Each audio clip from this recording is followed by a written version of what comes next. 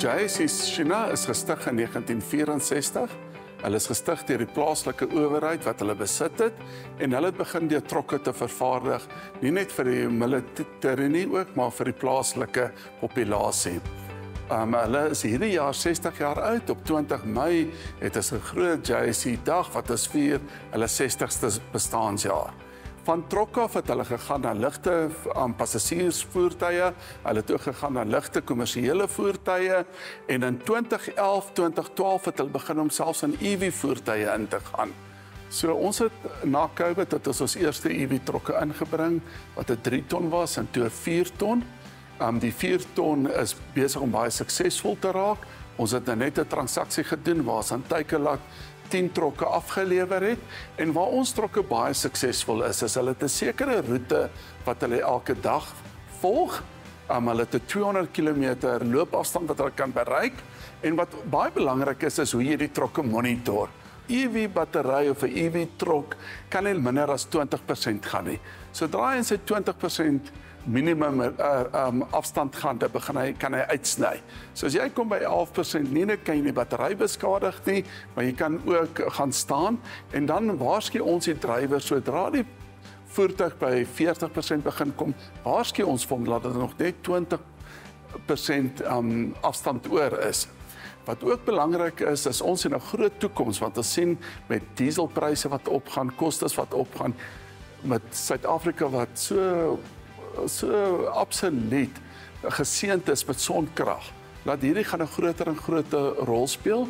Ons het oor 'n maand en 'n half, dit is 'n 2.2 X200 wat ook land wat ook 'n elektriese voertuig is, wat 'n 250 km reeks is, maar wat die prys absoluut fantasties is. So die 4 ton trok is absoluut toegerus met ekstras wat jy eintlik net in luxe voertuie kom. Die eerste ding wat die 4 ton trok het, is hy het ADAS wat met ander woorde beteken die trok breek homself as jy op pad is na ongeluk toe.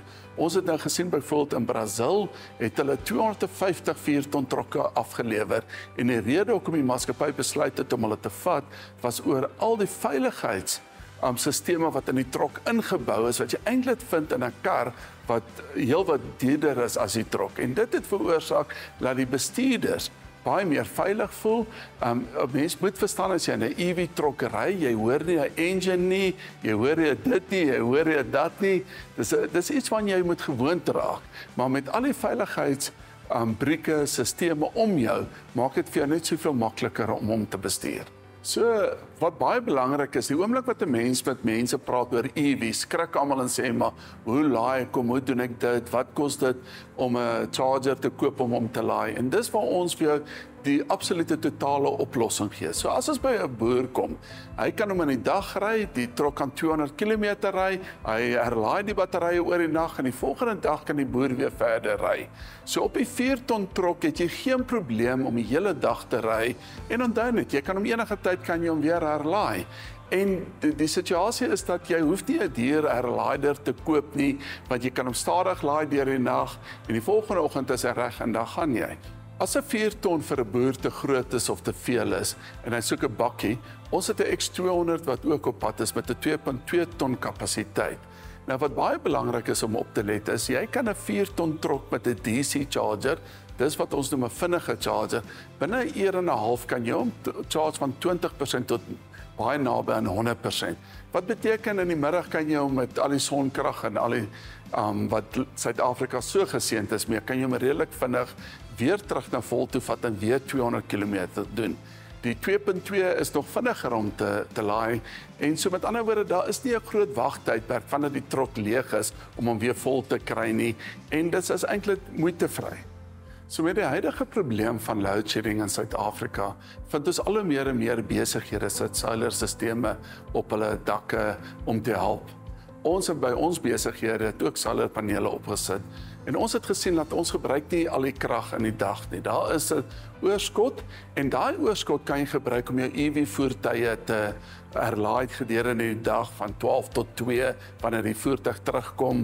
Hy kom al miskien nuwe aflewering materiaal en daai uur uur en 'n half kan jy hom voluit herlaai. En ons het gesien met diesel wat werklik 'n wesenlike uitgawe in ons boeke word. Het ons gesien maar deur ons eie sonkrag te gebruik, was nou klaar die uitgawe aangegaan het om ons geboue te voorsien. Kan ons sien dat dit kan absoluut die klein sake man help om te sê maar weet jy wat, ek het nie meer diesel uitgawe nie. Ek het absoluut nie meer 'n diesel uitgawe nie. Ek gebruik my ener en eie energie. Die drywer kry dit hier terwyl ek herlaai en jy weet eh, ten minste sal ek sê kan jy 50% besparing hê op jou petrolverbruik en jy kan 'n 70% besparing hê op instandhouding. En as jy die dit reg kry, kan jy intedeel 100% van jou energie van jou dakke afkry wat jy nie gedurende die dag gebruik nie. Ek sien dat die EV besigheid gaan net groter en groter word. Ons het heidaglik die 4 ton en die 3 ton. Ons bring nou 'n 9 ton EV. Na die 9 ton EV gaan die groter EV's kom. So ons sien dat dit net 'n al hoe groter en groter gedeelte van ons besigheid gaan word. Ons weet dat meer en meer mense is besig om solar op te sit en meer en meer mense gaan besef maar luister hier, ons kan eintlik klaarkom sonder diesel. Ons kan eintlik dit begin minder en minder maak. En as jy gaan uitwerk, wat verbrand jy 'n dag aan diesel en wat dit vir jou gaan kos as jy op sonkrag gaan, dan gaan jy besef soos ons dat dit is 'n geen brein besluit nie. Dis 'n no-brainer. Kry sonkrag kry vir jou 'n EV trok as jy dit nodig het en jy sal sien die besparing.